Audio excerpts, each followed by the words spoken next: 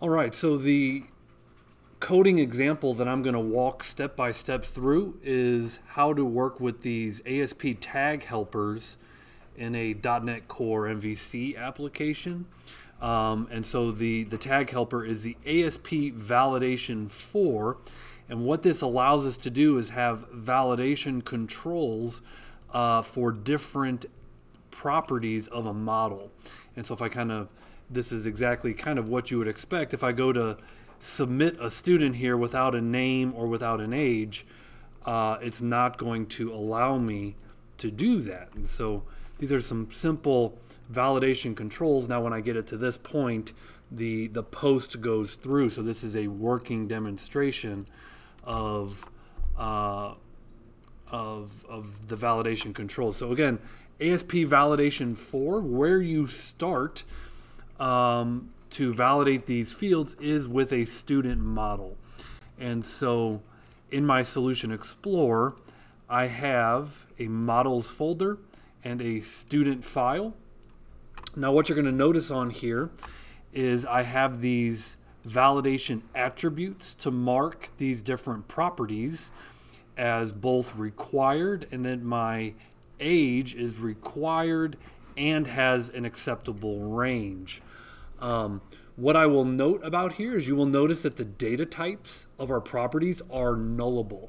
And in my experience, if you don't mark these as nullable, uh, you wind up not getting the correct error messages on the front end.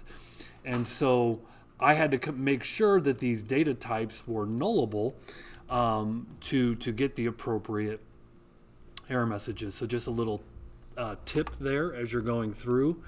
Um, you'll make a class called student, make a couple of properties, and um, and add these attributes. Now to add the attributes, you're going to notice you have to add this using system component model data annotation. So you need to bring in this uh, this class so that you can work with these attributes.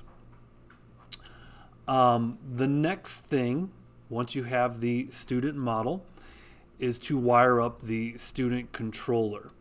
And so inside of the controllers, create a student controller. So right click, add controller, create a student controller.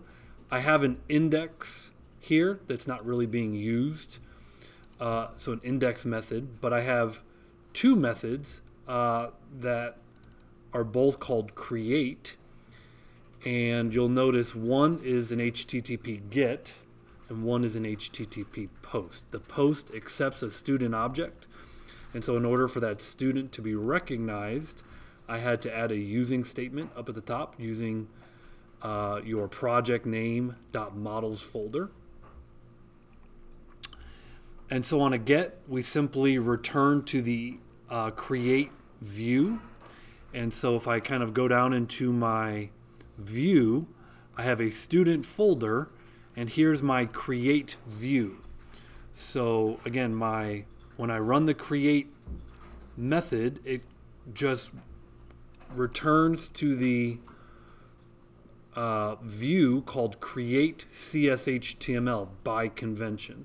So returning this view should load the form. This form has an ASP action of create and the post method. So you'll notice that when I insert a breakpoint here and run this,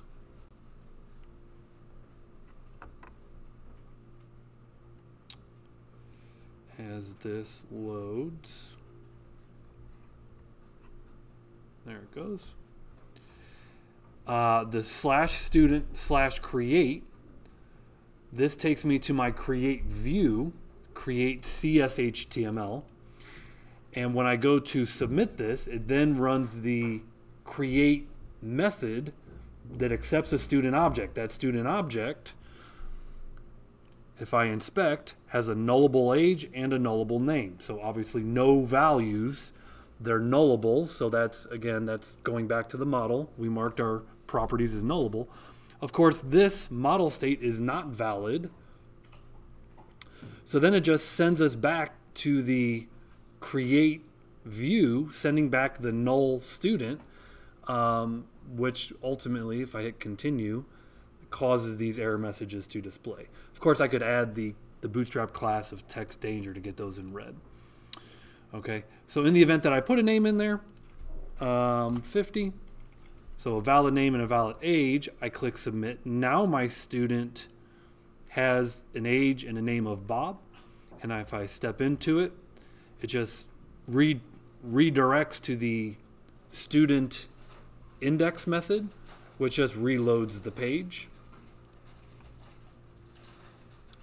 And, you know, it basically runs that get method uh, right here um, and, and reloads the page. I, I don't have this actually wired up to a database.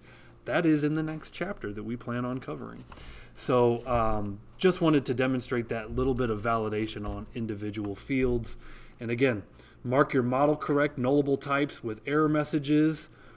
Um, in the view, you have to have the ASP validation for attribute. Last but not least, you need this if statement that says, hey, if the model is valid, do one thing. Um, however, if not, you can do something else. So you can see we're a couple different methods here of view versus redirect to action. Uh, but both of those implement I action results, so they're both valid return types out of this create method. Um, and so that's the quick demo I wanted to do on individual field validation in this .NET Core MVC world.